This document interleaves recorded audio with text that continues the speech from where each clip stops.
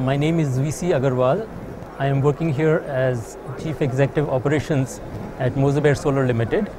Uh, Moser Baer Solar Limited is part of the Moser Baer India Group.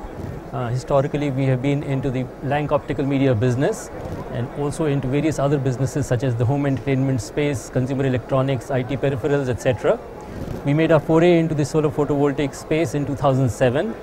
Uh, we have our head office located in Okhla in New Delhi and our plants are located in Greater Noida.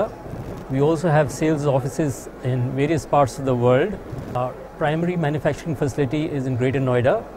Uh, within the solar space, we are into the multiple technologies, which includes crystalline silicon technology, thin films, and also in concentrator PV.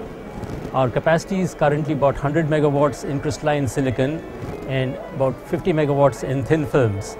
Uh, we are right now in the process of significantly expanding our uh, foray into the crystalline silicon technology where we are enhancing our capacity by the addition of another 100 megawatts in crystalline silicon both at the cell and module level.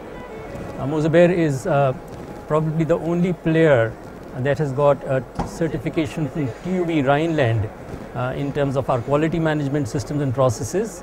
We got a five star rating, which has been given uh, globally only to two out of about 20,000 companies and to the only company in the solar space. And this speaks appropriately of our endeavors that we have made in improving and upgrading our quality management systems. We've also recently been the recipient of our, an award, it's called the Golden Peacock Award for Environment, Health Management and Safety, uh, for which we have uh, received global recognition.